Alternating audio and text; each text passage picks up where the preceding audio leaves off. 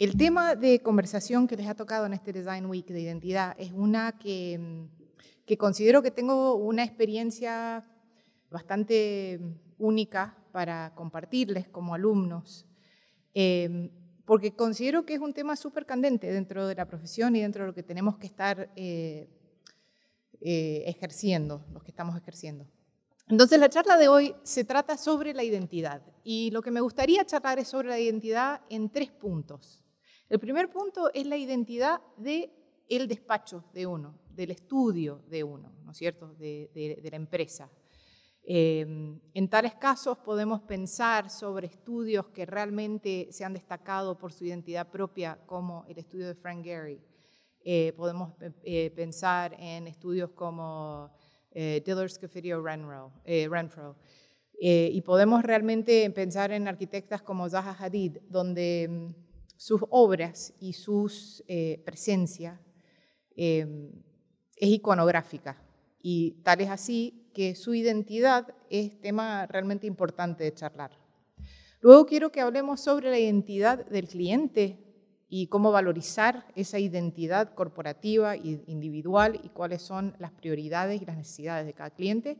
Y por último, aunque no es último, la identidad de uno como diseñador dentro de todo esto, por empezar, voy a pasearlos cronológicamente a través de los proyectos eh, que yo encontré que eran como destacables para esta charla.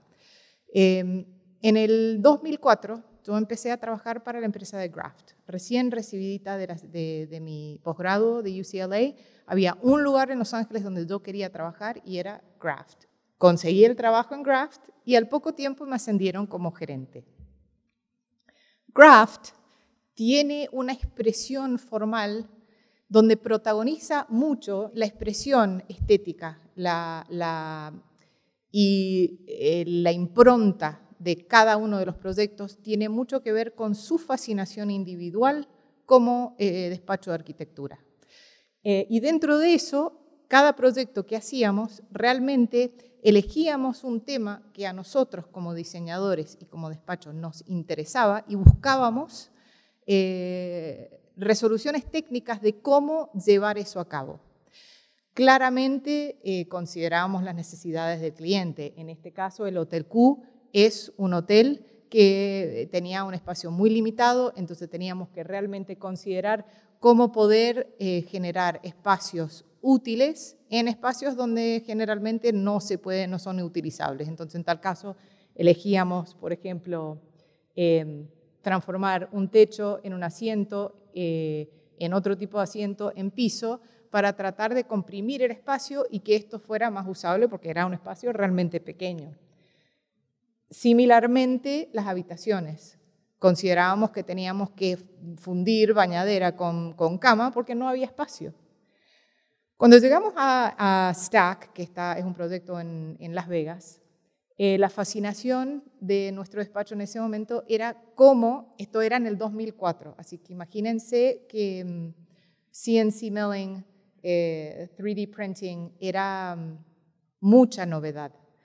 Y nuestra fascinación en ese momento era cómo transformar una maqueta tridimensional donde realmente ocupábamos las paredes em, de una manera muy expresiva y cuál es la tolerancia de construcción y de diferencia que íbamos a encontrar entre eh, el hecho de maqueta y el hecho construido. Puedo decir que el proyecto tuvo una variación de 3 pulgadas, por decir, desde el momento de que empezamos a, generar estos bloques hechos en 3D, en CNC Mill, cada una de las curvas, a cuando lo impusimos o lo terminamos de construir, que realmente fue un hecho interesante en cuanto a la construcción, porque es muy difícil manejar ese tipo de tolerancia constructiva ya cuando vamos de una escala más pequeña, de, una maqueta, a, a una obra construida. Hicimos el flagship store de DC Shoes. Aunque la empresa obviamente se trata de skateboarding, nosotros teníamos la fascinación de cómo subir todo desde el piso, donde nada tocara el piso como si fuera realmente un skateboard fact y también queríamos eh, destacar cada elemento como objeto casi volando en el espacio. City Center em, ya yo estaba a cargo del despacho de Los Ángeles. Eh, había crecido nuestro estudio de seis arquitectos a alrededor de 54 arquitectos teníamos en este momento. Y esto era generar espacios dentro de Las Vegas donde la gente se sintiera a gusto, bebiendo, afuera, bajo un sol tremendo.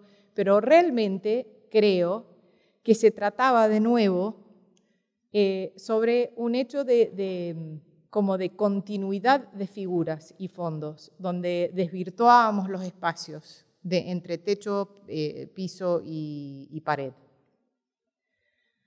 Claramente cumplíamos con las funciones necesarias y con las funciones que nos pedían los clientes, pero como verán, la estética seguía siendo algo realmente específico de Graft, que, era Em, soft form, era eh, parametric study, era cómo tomar em, elementos constructivos y quizás desvirtuar cómo se estaban utilizando en un espacio real. Entonces, la madera, en vez de hacer lo que generalmente daría una madera, le pedíamos que hiciera otras cosas. Em, en este caso del Hotel W, nosotros eh, teníamos un espacio que estaba muy subdividido por eh, muros y queríamos generar un espacio de, fluidez absoluta entre un espacio y el próximo. Entonces hicimos una especie de lamelas que tenían LEDs, donde cuando esto se, activaba tridimensionalmente, podías eh, poner nubes que pasaran, podías poner pájaros que pasaban, eh, funcionaba como un televisor, por decirlo de alguna manera que de nuevo, si me, remonto al momento del tiempo, era en el 2008 que esto lo estábamos diseñando, entonces era, muy novedoso. Ahora creo que, que lo vemos y decimos, bueno, sí, sí.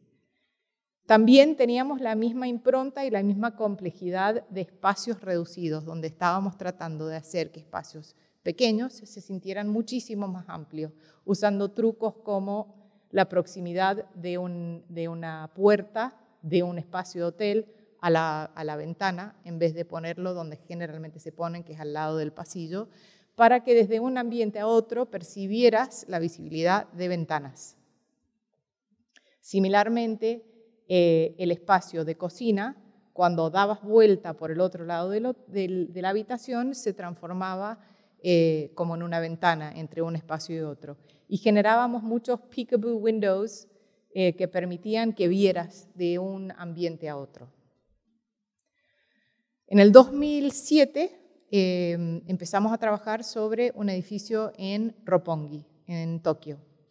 La impronta de este proyecto era generar en Roppongi el edificio que más se destacara en la ciudad, aunque no iba a ser el más alto, no iba a ser el más, ni siquiera tenía la posibilidad por, problemáticas de, de, de sun shading, de edificios que estaban alrededor, eh, terminamos con un espacio, como con un edificio medio triangular, rarísimo, era, como un gordito ahí sentado, que era muy difícil imaginarse cómo hacer que este edificio dentro de una ciudad muy eh, vistosa se destacara. Reitero, siempre van a ver que vuelvo a lo mismo, que es una cuestión de estética, ¿no es cierto? Que, luego en la charla vamos a ver por qué estoy haciendo tanto hincapié en ese tema. Lo que elegimos hacer era que este edificio floreciera una vez por año.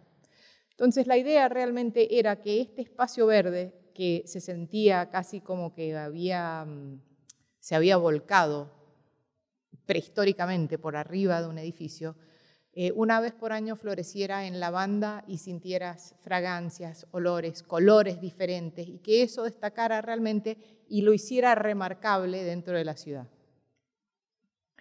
De nuevo, los espacios interiores desvirtuaban eh, techos, pisos, paredes. Eh, utilizábamos sistemas de, atrios importantes para generar jerarquías económicas también, porque claramente es una parte de la ciudad carísima, pero sin embargo estábamos tratando de hacer el edificio más caro de Roppongi. Pero de nuevo, la, estética de luxury, de Graft, era muy de sí mismo, era muy de, era muy de esta época, era muy de eh, una estética de querer eh, soft form.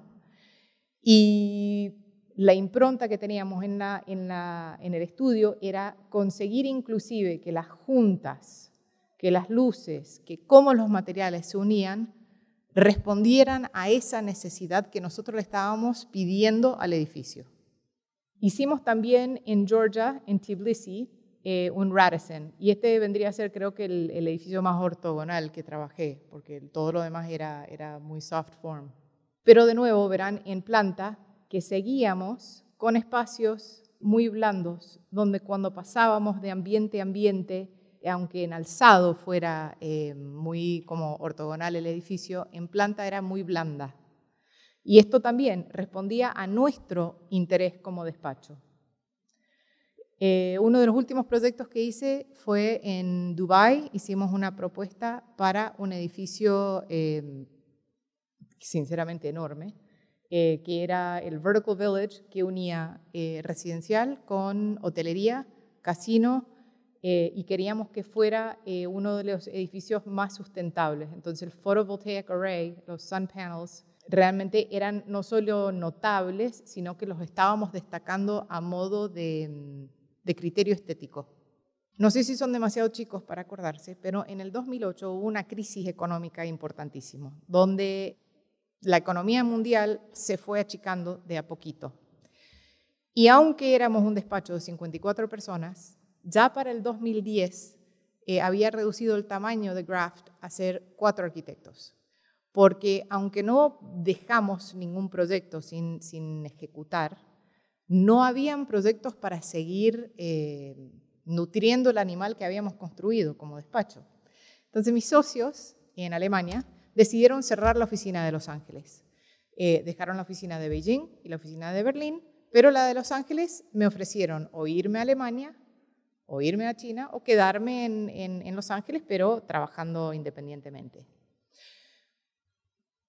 Después de haber em, tenido una experiencia tan importante en un despacho que, que realmente jerarquizaba su fetichismo, por su, interés en algo, em, por los cuales tengo nada más que agradecimiento, porque la verdad es que las oportunidades que me dieron fueron extraordinarias y únicas. Mi postura personal era que quizás para mejor eh, poder soportar la volatilidad que existe dentro de la arquitectura y que siempre va a existir, siempre van a existir altos y bajos económicos, quizás, si no sos Frank Gehry, es importante jerarquizar la necesidad del cliente por sobre el de uno. Fue mi postura, fue mi, y, no es tratando de insultar a Graft, sino que muchos de los proyectos que podrían habernos sostenido como, como despacho no fueron otorgados a Graft porque nosotros teníamos un lenguaje muy moderno, muy, muy propio. Eh, entonces, cuando fundé Undisclosable, la idea realmente era, como diseñador, yo quiero ser undisclosable. Quiero ser irrelevable. ¿Es esa la palabra? Irrelevable. Que el proyecto no sea about me, que el proyecto sea realmente sobre el valor del cliente, qué necesita el cliente, por qué lo necesita, cuál es su característica corporativa independiente a cuáles son mis intereses como diseñadora. Porque creo que, por un lado, considero que la identidad del cliente es fundamental para su success, ¿no es cierto? Pero por otro lado, yo consideraba que era una arrogancia bastante grande de parte del modelo del Starchitect, que era de, de nuevo, de mi época cuando yo era joven y estudiante, em, que me hacía acordar mucho a, por ejemplo, y tuve la oportunidad de juntarme y hablar con Oscar Niemeyer. Y en una charla importante que tuve con él, él tenía 102 años, ya en el momento que lo conocí en Brasil, yo le preguntaba sobre si él consideraba que hoy en día el modelo de arquitecto se trata del modelo de genio individual o si se trata del modelo de colaboración. Su postura, como era Oscar Niemeyer, era que era el, genius model, que la idea venía de él y lo, lo, veo y lo entiendo y considero que si sos Oscar Niemeyer o sos Frank Gehry, un cliente te va a elegir precisamente porque quiere tu impronta en su edificio para representar su edificio. Pero somos pocos los Frank Gehrys en el mundo.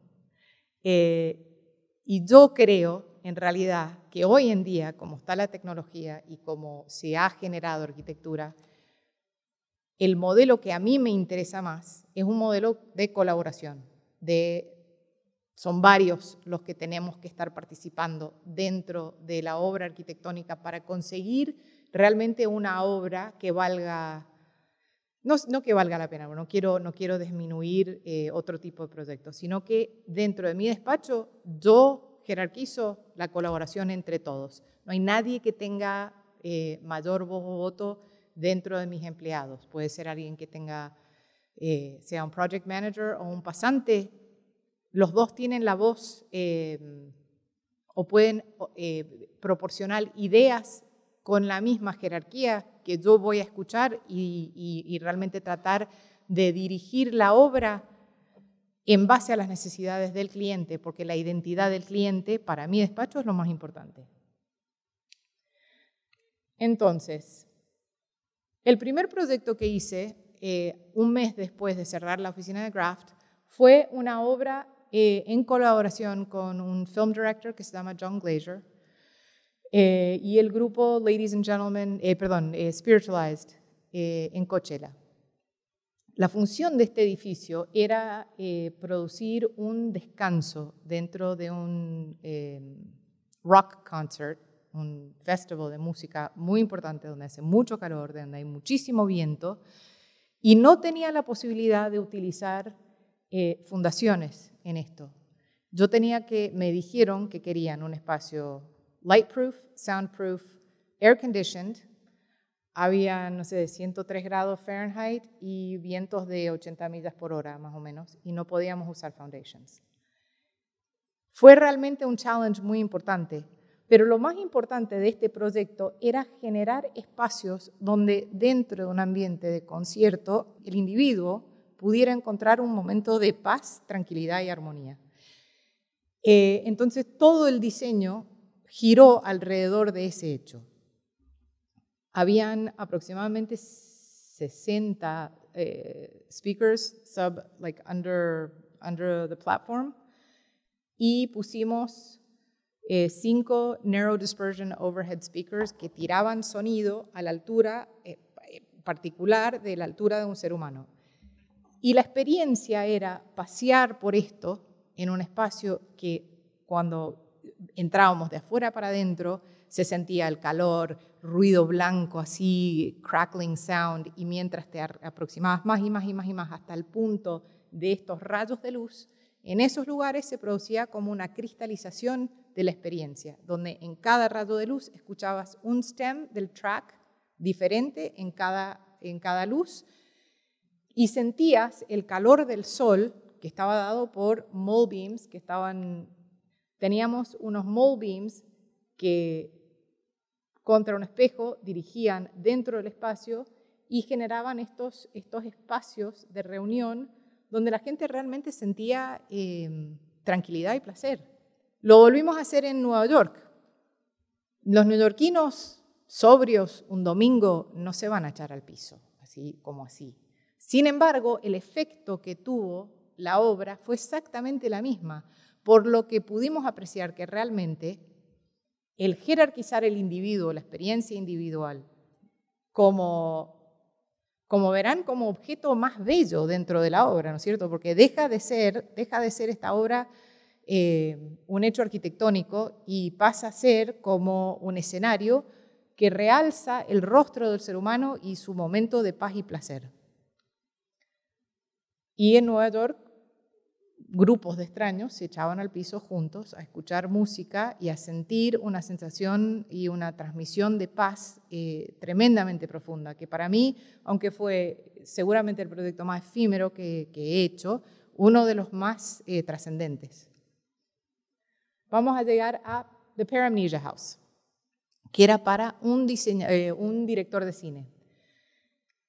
Paramnesia es una casa que existía, que debido a unas condiciones eh, constructivas y unos, eh, unas limitaciones de construcción que teníamos en Los Ángeles, eh, nos pareció relevante mantener un espacio de fireplace, porque ahora en California, debido a los incendios, ya no podemos generar más chimeneas. Entonces, casi todo el edificio gira alrededor de este deseo del cliente.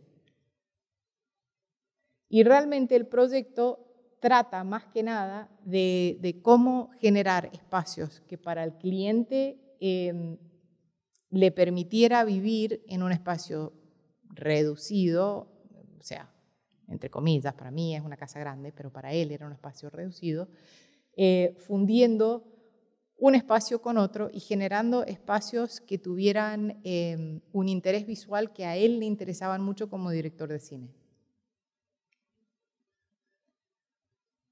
También en el 2012 eh, tuve la oportunidad de trabajar con un chef, eh, Evan Funky, eh, que se dedicaba a una creación de pasta tremendamente exquisita. Se había formado en Bolonia y él generaba o producía su pasta con estos elementos que se llaman matarelos. Los matarelos son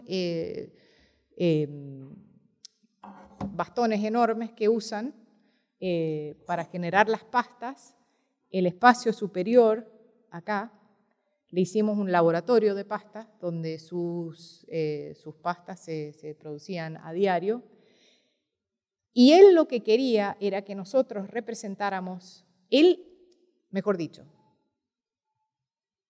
él nos hablaba de su proceso y siempre remarcaba que él utilizaba cuatro ingredientes y que con esos cuatro ingredientes conseguía un despliegue de sabores extraordinarios. Entonces nosotros como diseñadores quisimos em, hacer eco a esto y nos reducimos el, palette de materiales a cuatro.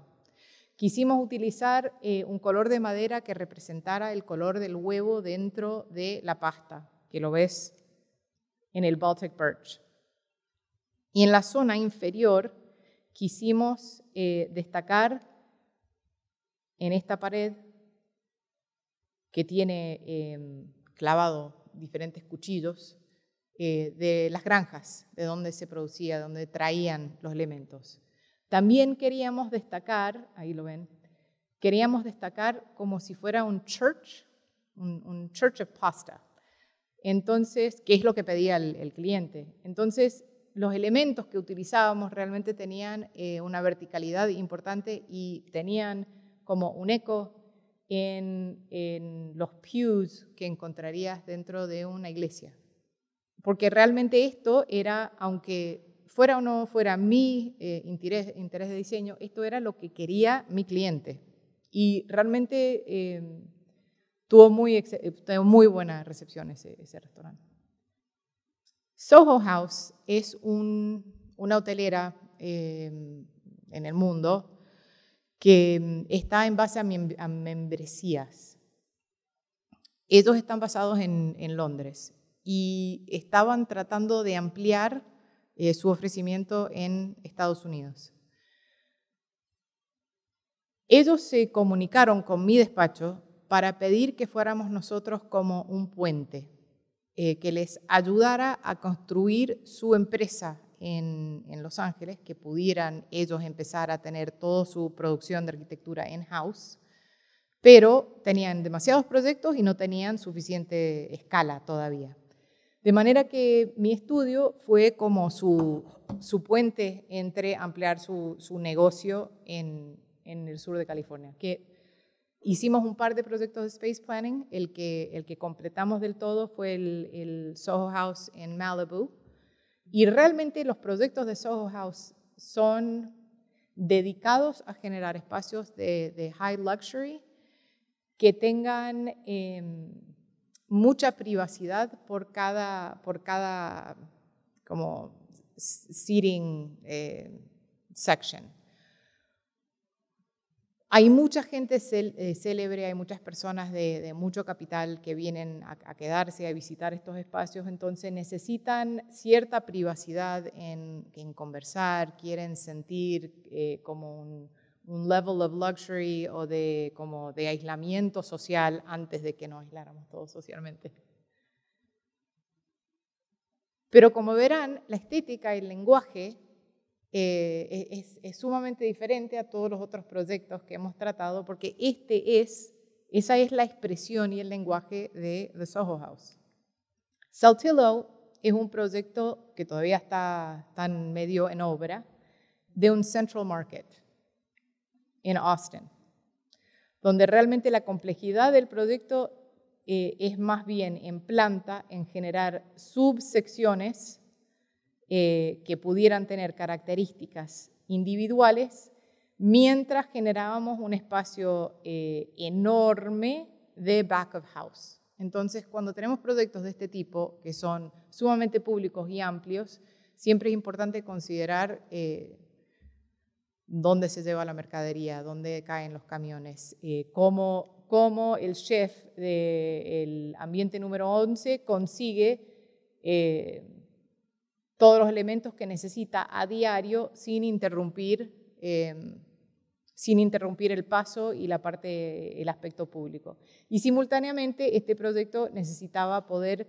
em, cerrarse de noche entre el espacio de bar y entretenimiento y el espacio principal. Entonces, suponiendo eh, a la noche, nuestro bar y restaurante tenían que poder estar funcionando y poder cerrar este ambiente y que esto no se percibiera como un espacio enorme vacío. Broken Rice es un restaurante que diseñamos para un rollout. Eh, entonces, lo, lo de destacar de este proyecto es que todo es sumamente modular porque teníamos que poder reubicarlo en 500 diferentes versiones después y a la larga de la, existencia del restaurante. Es otro tipo de problema.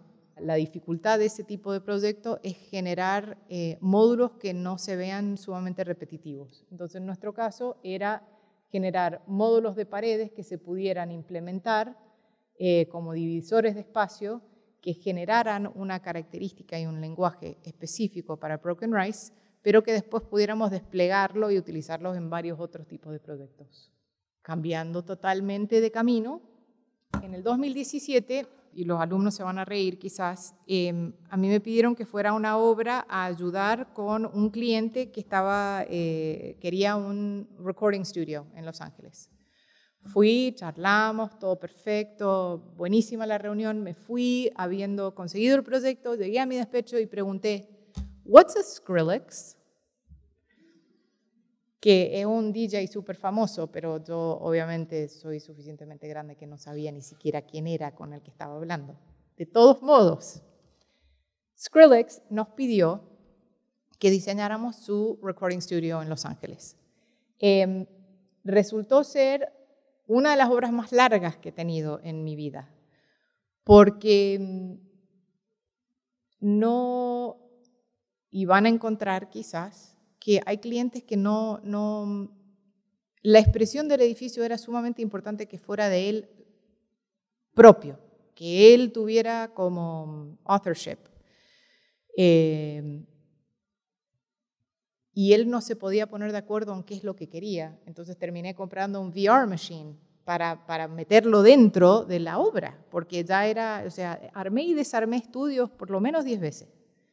Compraba telas, los armaba, los desarmaba, los armaba de nuevo. Y para un cliente ya llega un punto donde uno le da un poco de vergüenza decir, bueno, pero esto lo seleccionaste, no te gusta, entiendo, bueno, ¿cómo puedo, cómo puedo solucionar este problema? Entonces, Em, parte de la tecnología que ayudó mucho fue eh, el VR Machine.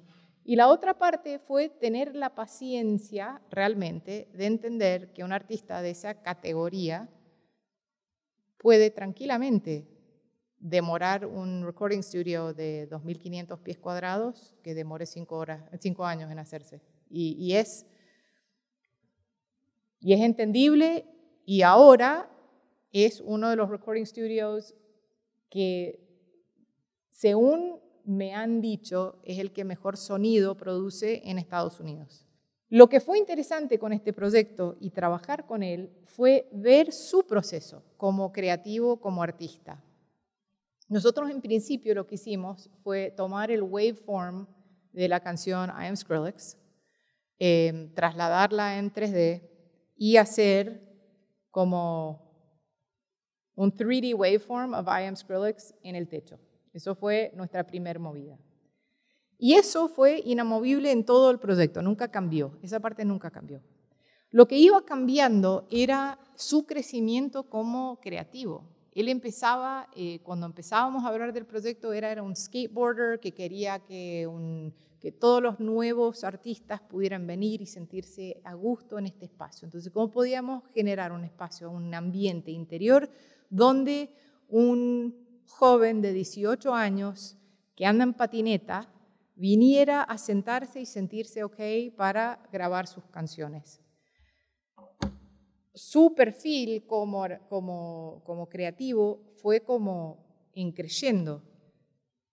Y al año me decía, no, lo que pasa es que ahora necesito que J-Lo se sienta cómoda acá. Y entonces uno se, se, encuentra en una situación donde te tenés que poner en el lugar del, del, del, cliente y decir, bueno, ¿qué es lo que yo interpreto como luxury? ¿Qué es lo que yo interpreto como em, cool? Y todas esas cosas a mi modo de ver, tienen mucho que ver con la identidad del cliente y tienen que ver mucho con la identidad de uno como diseñador para poder interpretar las necesidades del otro y transformarla en algo tangible que es sumamente difícil hacerlo. Entonces en ese momento se me ocurrió que era mucho más fácil trabajar como trabajaba Graft, donde yo le ponía una impronta a algo que a mí me interesaba hacer y lo hacía así. Y en estos proyectos me di cuenta que en realidad la valorización que yo le estaba dando al cliente era crítico y era necesario, pero que lo más difícil era cómo interpreto yo sus necesidades cuando él no me puede decir en palabras lo que quiere. Es dificilísimo. Y es, sinceramente, la tarea, a mi modo de ver, más crítica del arquitecto. En el 2017 empecé a trabajar, había trabajado con Brad Pitt desde el 2004. En el 2017 eh, empezamos a hacer para él su Writer's Lab.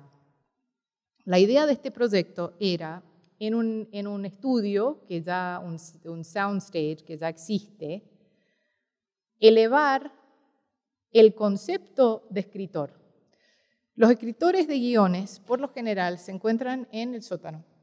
Em, son las personas creativas que generan estas ideas tremendas como, bueno, cual sea el programa que te interese ver, los guionistas realmente eh, son como el cerebro del, hecho y es muy raro que tengan un espacio creativo donde ellos puedan realmente em, sentirse destacados y sentir que, su espacio creativo ayuda y, como sustenta el trabajo que están haciendo.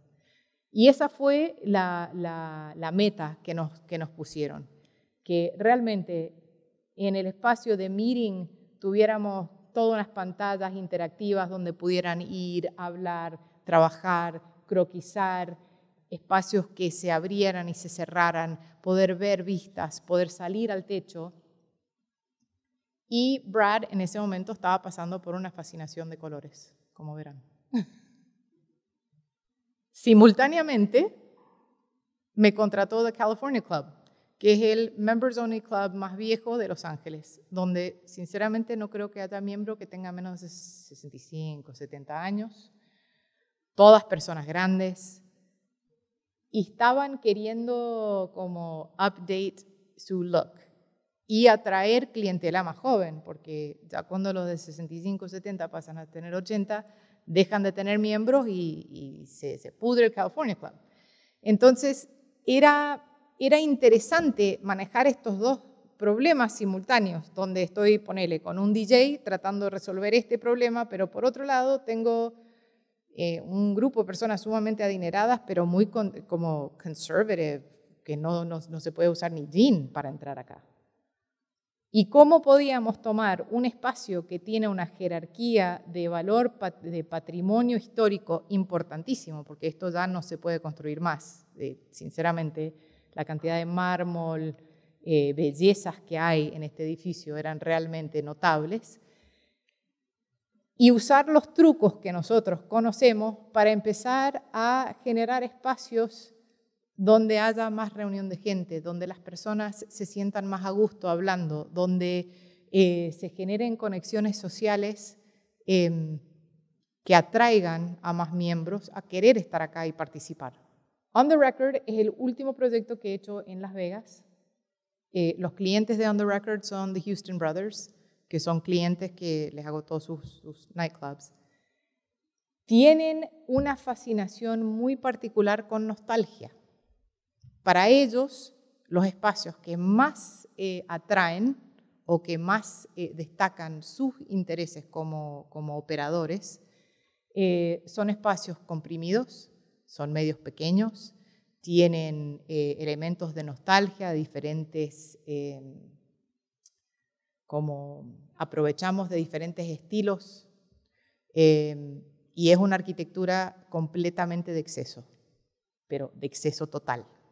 En esto ellos han encontrado un triunfo en la vida nocturna los angelinos y, realmente son los lugares que más, eh, que más se destacan de noche y que más, más uso tienen y que, que más frecuentan.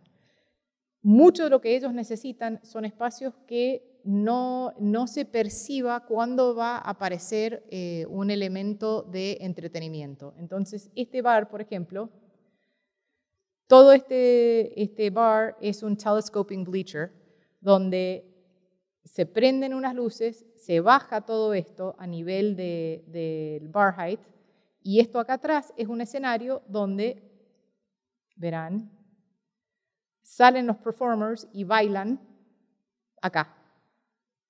Entonces la función de esta arquitectura realmente es... Em, casi adormecerte con la cantidad de exceso que hay y sorprenderte con cosas que, son totalmente inesperadas. Esa, esa, digamos, es la clave de su magia, de su, de su, de su mercado. Este bar gira, se abre y hay un gran piano que está en el medio. Estos son peekaboo windows detrás de donde bailan eh, mujeres que las ves únicamente cuando se prenden las luces detrás del one-way mirror. Entonces, lo que estoy tratando de expresarles es que hay problemas sumamente técnicos dentro de esta arquitectura que están completamente escondidas por un exceso completo de, determinaciones. Este ambiente pequeño tiene em, record players donde te conectas con auriculares y la experiencia de esto es tomar una bebida y escuchar música que está em, curated por el bartender, que vos le decís, no sé, quiero escuchar, Pink Floyd, y te trae una bebida para el tema que estás escuchando, te pones los auriculares, vos pones el disco y esa es la experiencia. Y es un speakeasy dentro, de, dentro del espacio de On the Record. El último proyecto que le voy a mostrar es el Monrovia Train Depot. El Train Depot de Monrovia em, es parte del Santa Fe Railway. Eh, fue construido, si no me equivoco, si no me equivoco, es del 1919, por decirte. Y había estado en desuso desde el 1972, abandonado. Los clientes me pidieron que viéramos cómo podíamos transformar el Train Depot, que es esta porción, en un restaurante. Eh, parte de mi despacho es realmente hacer feasibility studies y proformas para ver la economía de los proyectos y si van a funcionar. Dentro del mercado de Monrovia, la cantidad de asientos que yo le podía proporcionar dentro de un restaurante tenían que cobrar, por decirte, 300 dólares por cabeza para poder eh, sostener eh, un, proyecto de restaurante. Entonces, mi propuesta fue ¿por qué no generamos un espacio, duplicamos la cantidad de asientos que tienen en un restaurante, agregándole un espacio enorme en la parte de atrás? Que eso generó una parte del proyecto que era eh, preservación histórica con eh, como un modern canopy attachment. Que lo interesante en ese caso era cómo, cómo hacíamos que el canopy tuviera em, representara eh, una estación de tren donde realmente todavía pasan los trenes por al lado, pero la lectura del mismo fuera suficientemente moderno para que no, para que no se eh, desvirtuara la realidad de que eso no existía en el 1900. Eh, que creo que, bueno, con todo el trabajo de, de, patrimonio histórico, realmente eso, eso es lo fundamental, es ser realmente sincero y honesto en qué es lo que es histórico y qué es lo que no es histórico. Hicimos un renovation and update del existing train depot. Bajamos el techo en esta zona del baggage cart para esconder todo lo que era HVAC um, systems, eh, exhaust systems. Y el canopy de atrás realmente es un hecho eh, moderno.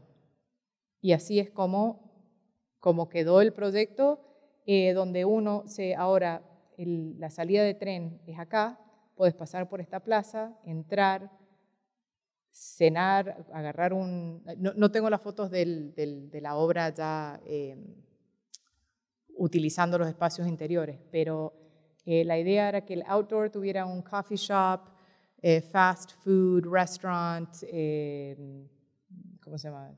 Sandwich bar, y que el espacio de patrimonio histórico eh, fuera más bien high-end pasta and steak.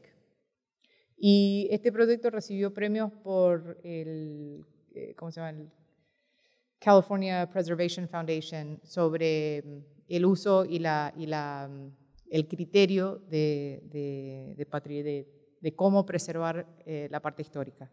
Entonces, esa sería la conclusión. No sé si he podido realmente em, llegar a una conclusión sobre cuál me parece mejor, cuál me parece más fácil.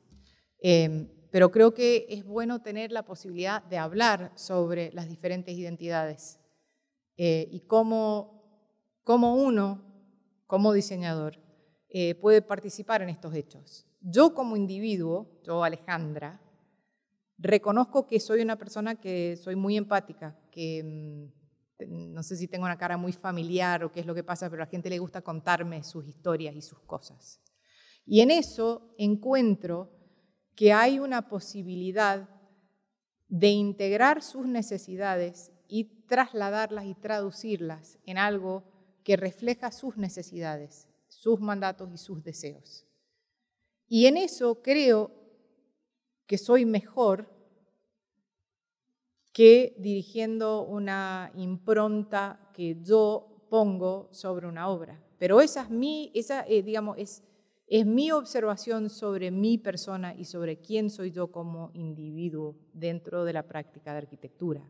Y por eso yo creo que, que mi, mi despacho, como undisclosable, como muchas veces las obras de Houston Brothers, la de Skrillex, todo lo de Brad Pitt, nunca me van a ver, nunca, van a, nunca en la prensa salgo, porque no me, no, no me interesa esa figura dentro del historial o dentro de la historia de esa obra, no me parece que mi protagonismo sea importante fuera del contexto de ser el medio que habilita la expresión del cliente.